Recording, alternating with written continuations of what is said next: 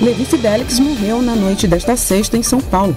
A informação é de um comunicado de falecimento publicado em sua rede social oficial, que se despede do homem do aerotrem.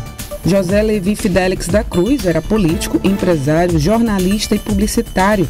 Foi fundador e presidente nacional do Partido Renovador Trabalhista Brasileiro e ficou conhecido por ser autor do projeto do Trem Bala, que ligaria Campinas, São Paulo e Rio de Janeiro.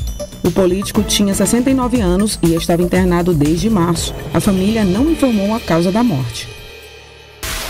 A notícia com a imparcialidade que você merece. Jornal Tudo em Dia. Com Paulo Braga.